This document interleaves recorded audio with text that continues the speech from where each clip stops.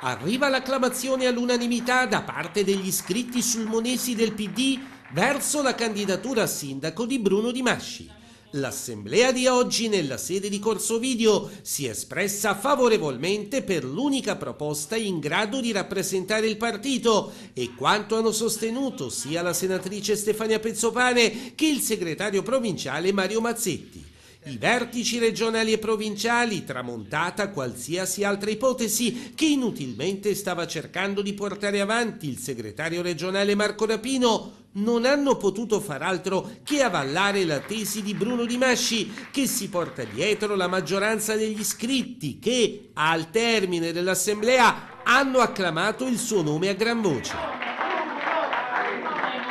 Soddisfatto perché eh, c'è stata l'unanimità intorno a questa designazione a candidato sindaco.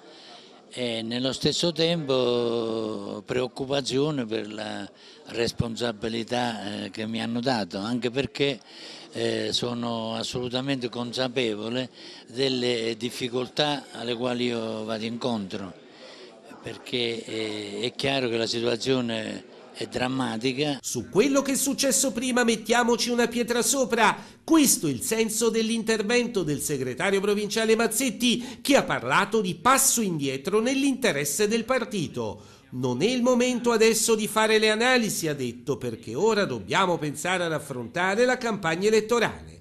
È ufficiale intanto che il PD si presenterà con Dimasci senza simbolo, Nulla importa, ha detto la senatrice Pezzopane, perché Bruno è comunque un uomo del Partito Democratico. Non si può fare a meno a questo punto di prenderne atto del lavoro che ha fatto in queste difficili settimane e di dare una mano a Sulmona per avere un vero sindaco e non un sindaco fantoccio, etero diretto da qualcun altro. Ecco quindi che l'Assemblea degli iscritti ha dato un'indicazione precisa inequivocabile. Segretario, sembra che i problemi siano risolti. Il PD ha trovato l'unità su un uomo solo, però correrete senza simbolo. Gli iscritti del PD oggi nell'Assemblea hanno riconosciuto nella proposta di Bruno Di Masci il valore della loro storia e del loro percorso. Il Partito Democratico, ha, come sapete tutti, ha, ha, stabilito di non esserci in questa campagna elettorale per non esacerbare anche i conflitti di una comunità politica che ha bisogno anche tanto di ricostruzione.